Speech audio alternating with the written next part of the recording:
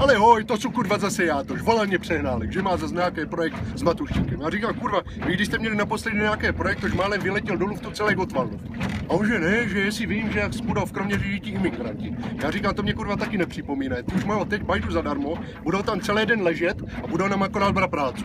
A on že ne, že vymyslel něco jiného, že to bude nějak z Evropské unie a že by to nějaký euro i přineslo. A říkám, kurva to, že kdyby to mělo být za nějaké peníze, to víš, že já jsem velice estetický člověk, že bych nějak s tím pomohl. A on že byl nějak v červencu na Lipně ze svého, že tady jezdili nějak celý trajekty plný Rakušáku a že by to nějak zezbíral a že by pak v Šelešovicách udělal nějakou základnu nebo něco takového. No to jsem si říkal, že půl sedmé, o šesti jsem je vytáhl ve Frimburgu. Ty dojeli oba dva na Camrani, ten přehnálek, ten mě sedl do lodi, to se začalo giglat, že, že je mu blbě a že si jde koupit cigára. Takže Matuštík ten do toho vlezl s foťákem, před minutou mě z toho vypadnul, že viděl poprvé na labuť, že si to chtěl vyfotit. Já jsem říkal, já se na to můžu vysedat. Já tady pozbírám prvních 70 rakušáků, dovezuje do Šelešovic, kurva, tam se bude servírovat sachr, kurva, a rádner.